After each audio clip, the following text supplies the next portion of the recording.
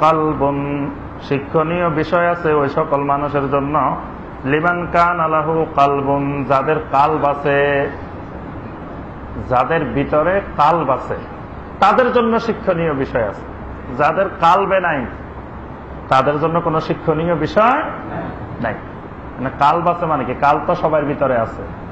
কি বলেন? কাপের মুশিকের ভিতরে কাল নাই? আল্লাহ পাক বলতেছে, যাদের কাল বাসে শুধু তাদের জন্য শিক্ষণীয় বিষয় আছে। মুফসির নিকরাম বলেন, কালবের অর্থ হল লব্বন। কালবের অর্থ হল লব্বন, আকলন। অর্থাৎ তাদের জ্ঞান, যাদের জ্ঞান আছে, লব্বন মানে যাদের জ্ঞান আছে, আর আকল মানে যাদের বিবেক আছে। এখানে কালবাসে মানে যাদের মাথায় কিছু জ্ঞান আছে, কিছু বুদ্ধি আছে, তাদের জন্য এখানে শিক্ষণীয় বিষয় আছে। আও আল শাহিদ, অথবা যে ব্যক্তি উপস্থিত হয়ে বর্তমান থেকে কোনো কিছু শোনার চেষ্টা করে, তাদের জন্য শিক্ষণীয় বিষয় আছে। এখানে কথাটা বলতেছেন যে উপদেশ সব লোকের জন্য নাই। দুই ধরনের লোকের জন্য আছে। এক ধরনের লোক হলো, লিমান কান আলাহু কালবন, যাদের কাল্ব আছে, অর্থাৎ যাদের কাল্ব জাগ্রত, যাদের জ্ঞান আছে, বুদ্ধি আছে।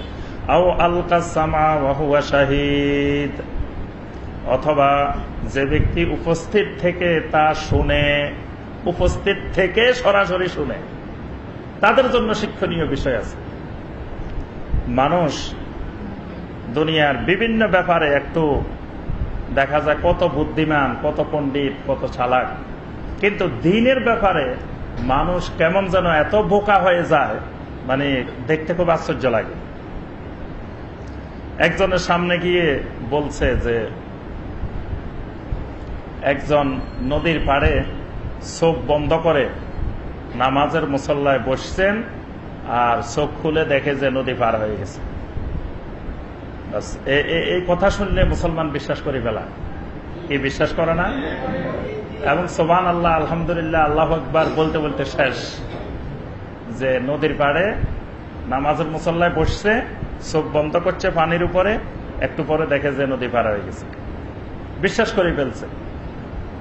তারপরে আল্লাহর এক অলি হজে যাওয়ার জন্য কান্নাকাটি করতেছে যে, আল্লাহ, আমি একটু হজে যাইতে চাই। তো হজে যাওয়ার টাকা পয়সা পায় নাই, কিছু পায় নাই। তাই আল্লাহ পাক বায়তুল্লাহকে ওই আল্লাহর অলির সামনে এনে দিছে। বায়তুল্লাহ ওই আল্লাহর অলির সামনে চলে আসছে। আল্লাহর অলি এবার এখানে বসে বসে এই নদ্দাতে বসে বসে তাওয়াব করতেছে। বায়তুল্লাহ চলে আসছে কোথায়? নদ্দা সরকার বাড়িতে। আর এখানে আল্লাহর অলি তাওয়াব করতেছে। মানে আল্লাহর অলি আর কষ্ট করি, এত হাজার হাজার মাইল যাওয়া লাগে নাই। এখানে চলে আসছে। বাস, যারা শুনতেছে, এরা দেখি সুহান আল্লাহ আলহামদুলিল্লাহ, আল্লাহ আকবর বলতে বলতে শেষ।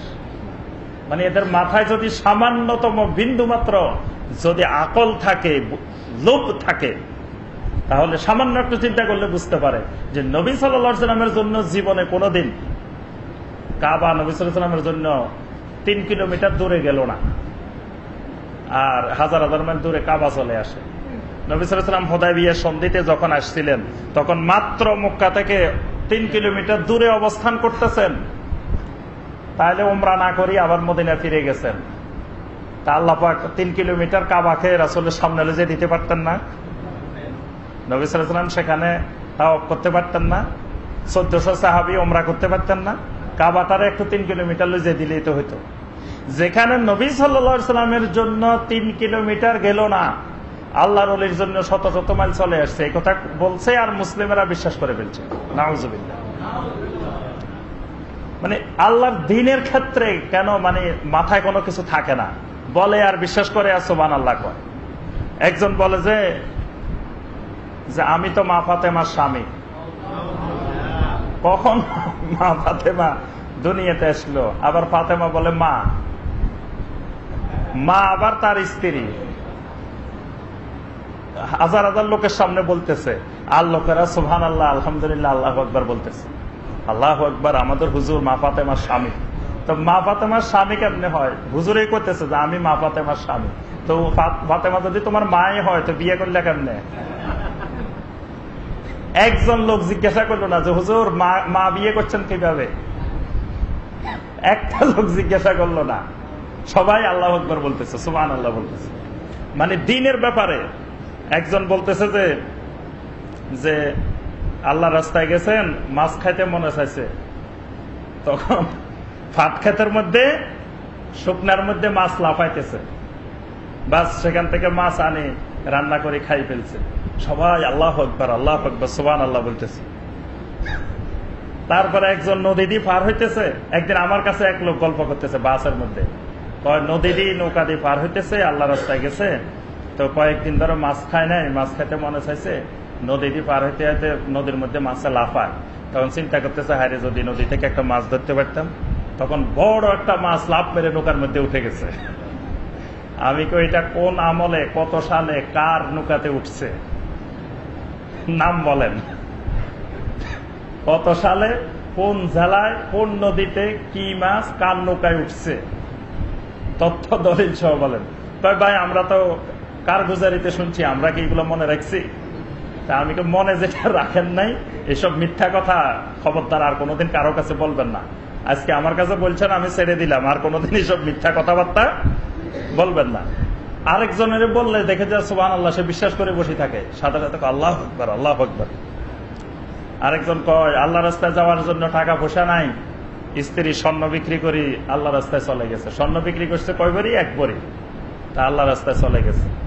এখন রাত্রিবেলায় আসি এক এক মানুষ আসে, দরজা ঠক ঠক করে। দরজা খুলছে, দেখে যে এক লোক দাঁড়ানো। কি ব্যাপার, আপনি কেন আসছেন? তোমার স্বামী আল্লাহ রাস্তায় চলে গেছে, তোমার স্বর্ণগুলা বিক্রি করি। তোমার এক বড়ি বিক্রি করছে, আল্লাহ পাক তোমার জন্য দশ বড়ি পাঠাই দিচ্ছেন